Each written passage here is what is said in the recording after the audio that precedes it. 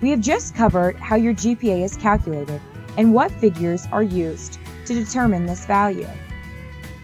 What you should now understand is that your letter grade is not the deciding factor of your GPA. It is your quality points. The five steps on this slide make up the entire formula used to determine and calculate your GPA. Write down the steps on your notes handout. Pause this podcast if you need more time, and then rejoin me.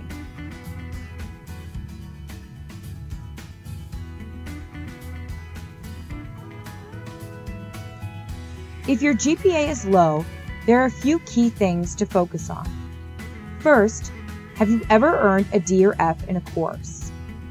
If you received an F in a class, you did not earn any quality points, but you did get the credits added to your GPA.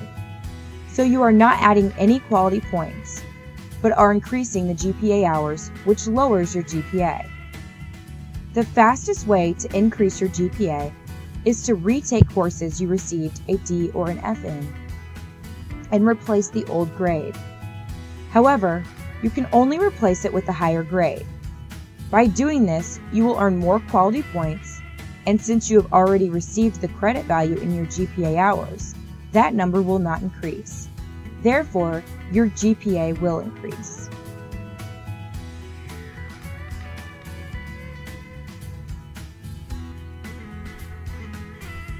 Here are some common reasons why people do not retake classes. They may think that it will not help their GPA. In fact, if you retake a class and earn a higher grade, it will replace the previous grade. Some students do not believe it will make a big difference. This will actually make a huge difference, especially if you have received a D or an F in several classes. Every little bit helps. Finally, some students simply don't want to retake a class. If you feel that not repeating a class is more important than raising your GPA, then so be it. However, as I said before, this is the easiest way to raise your GPA. Let's look at another example. In this chart, the student has 51 earned credit hours and 60 GPA hours. This means that the student took 60 credit hours, but only received credit for 51 of those hours.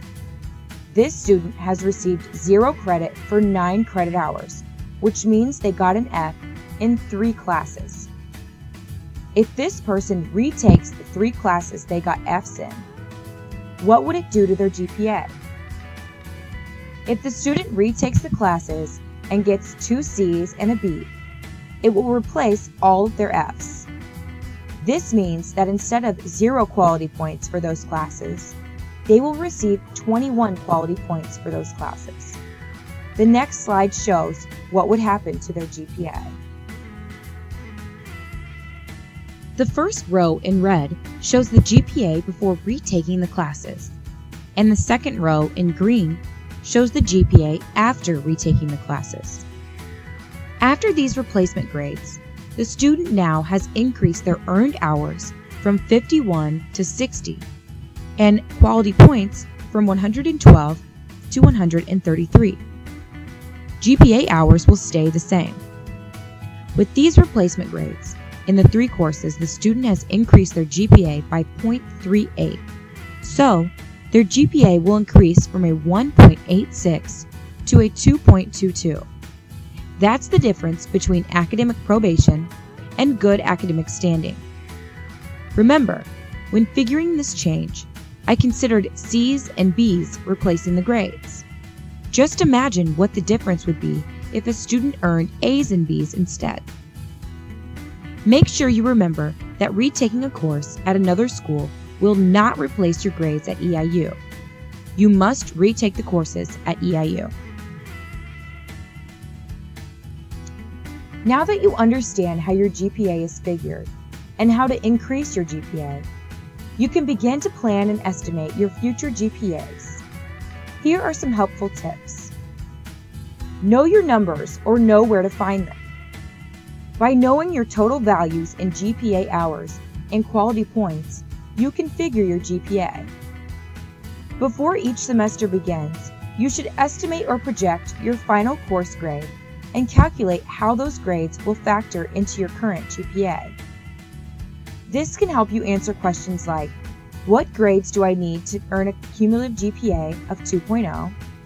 What will all B's do to my current GPA? Or will my current grades drop my cumulative GPA below a 2.0?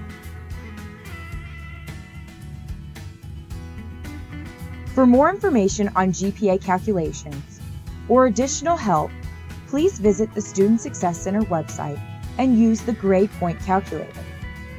The Grade Point Calculator is a fast and easy way to predict future GPAs, understand how many credits you will need to raise your GPA to a specific number, and what semester GPA will be needed to earn a certain cumulative GPA.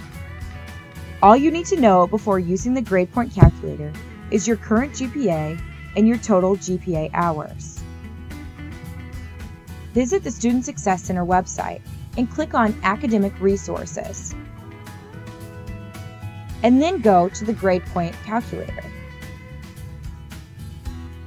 Enter your cumulative GPA and your total number of GPA hours, which can be found on your transcript. The GPA calculator will answer three questions. 1. How will the grades that I anticipate receiving in the courses I am taking now affect my overall GPA? 2. What will it take and how many credit hours will I need to raise my GPA to a new specified level? And 3. What grade average do I need to achieve this term to raise my cumulative GPA to a new specified level? Depending on the question, you may have to enter your current credit hours and your expected grades. The GPA calculator is a very useful tool for figuring or predicting your GPA. This concludes the GPA calculation workshop by the Student Success Center. If you have any questions about GPA or other academic skills, please contact the Student Success Center at 581 6696 or stop by for a one on one appointment with one of our staff at 9th Street Hall. Also, Check out any of our other podcasts while you're here. Good luck on your journey to success. Thank you.